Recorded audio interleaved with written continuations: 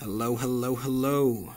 Welcome to this extra lesson I made for the homework. So today we're just going to be talking about inserting a local image that you have on your computer and how do we actually insert that image onto our website and make sure that we can use that image. So there's a couple steps involved with this. I know that this is going to be helpful for your homework. So if you don't know how to insert a local image from your computer onto your uh, notepad file that you've been making, your HTML file, um, this video will explain that. So let's go ahead and go to uh, Logo Maker that I made my little logo on here. This is just something I whipped up in like a minute.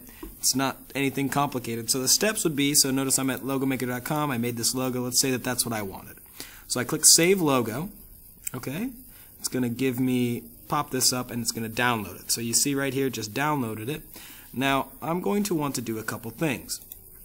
Notice that if I go to downloads, if I if I go ahead and search for that file, go to downloads, logo maker, should be an L, and here it is. So what I need to do with this file is I need to actually take this file and I need to go wherever I am saving my current web page. So I have my web page in a web pages folder, and I'm actually going to need to copy paste this that file here. Okay, so notice it's called logo maker underscore 5xdzux, which is just some ridiculous hyper or hexadecimal name. I'm going to just name that to rename that to my logo.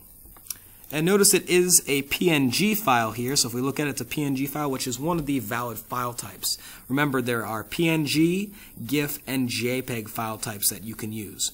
Right now, I just have uh, this logo, and now I can actually, since it's in the same folder as all these websites, I could use this image in any of these websites. So let's go ahead and open up, uh, let's just open up this random file.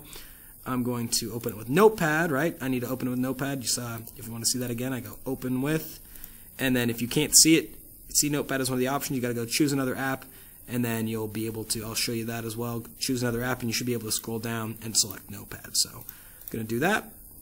Now this is open, right? So now, I right now have, this is just a text with, this is just an image with, uh, or a notepad file with, you know, a list and an image inserted in there. So let's go ahead and say, sorry guys, give me a second.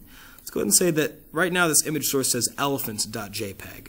So remember, if I want to insert my image, the tag is image, and then the source of the image would be the URL. In this case, since the file is saved in the same uh, same folder, we don't actually have to give it a location. We just need to give it the name. My name was my logo.png, I believe. Let me double check. Yep. And so now I can control S this. I'll just save it really quick. So file save, save. And then let's go ahead and open it up and take a look. And there it is. So obviously that's not where I want it. You're going to have to play around with the positioning of it and move it around into the header.